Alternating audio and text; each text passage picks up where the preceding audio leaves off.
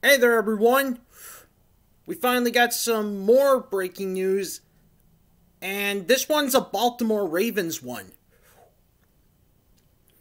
So, this is kind of a shocker after losing Matt Judon to New England, but but hey, they need to they need to keep their defense intact despite losing Matt Judon and Yannick Ngakoue I mean, seriously, they lost Matt Judon to New England, Yannick Ngakoue to Las Vegas.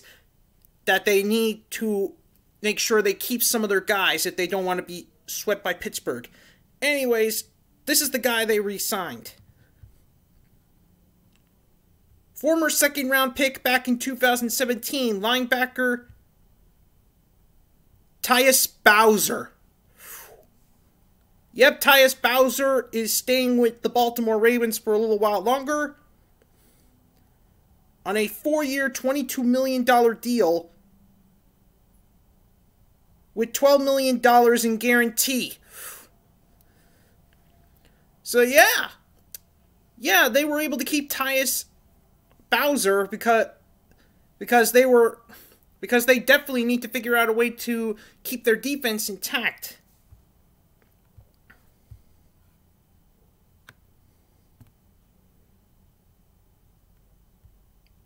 Let's move. Let's look at his 2020 status.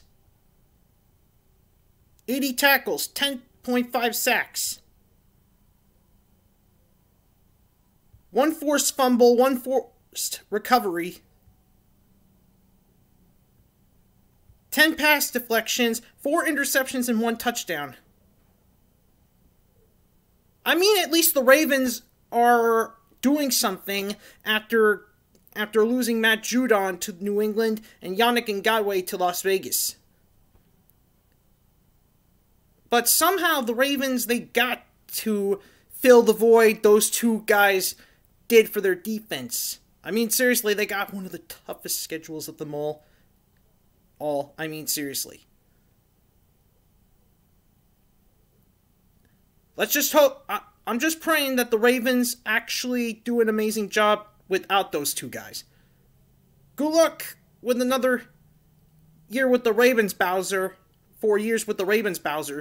And I'll see you on to bring you even more breaking news.